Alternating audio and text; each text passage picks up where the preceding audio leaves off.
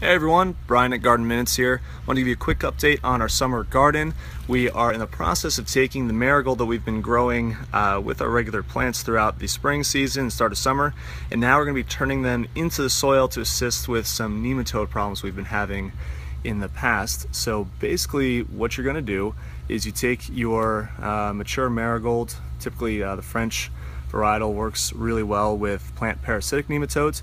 You put it into the soil, um, chopping it up and, and removing, um, yeah, basically tearing up the roots and foliage and do that. And you go ahead and you basically just cover it back up in your garden to let it uh, decompose into the soil. That should help with uh, root knot nematode, basically the, the parasitic plant variety. And um, what you do is you let that decompose in there and uh, go ahead and plant your new plants.